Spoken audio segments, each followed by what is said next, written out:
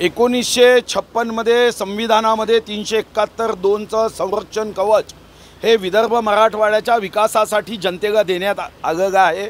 समतोल विकास व्हावा संतुलित विकास व्हावा मर्यादित साधन साम सामुग्रीचा उपयोग करताना विदर्भ मराठवाड्याचाही समतोल विकास व्हावा अनुशेष निर्माण होता कामा नये मराठवाड्याच्या आणि विदर्भाच्या जनतेला सुद्धा जगण्याचा अधिकार आहे. यासाठी हे कवच कुंडक दिलं एक मे एकोणीसशे चौऱ्याण्णवला या संदर्भातला ठराव मंजूर करून त्याचं गॅझेट नोटिफिकेशन झालं.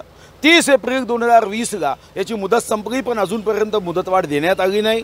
हे कवचकुंडर जर काढण्यात आलं तर विदर्भ आणि मराठवाड्याच्या जनतेचा विकासाच्या माध्यमातून जो संतुलित समतोल नियतव्यय अर्थसंकल्पात मंजूर व्हायचं ते होणार नाही ही भीती आहे. यामध्ये शोषण होण्याची शक्यता आहे. महामहिम राज्यपाल मोदी यांना आम्ही विनंती केली की वैधानिक विकास मंडळाची स्थापना करण्याची सूचना आपण या सरकारला द्यावी आणि विद विदर्भ मराठवाड्याच्या जनतेला न्याय देण्यासाठी आपण ताबडतोब सरकारला भाग पाडावं.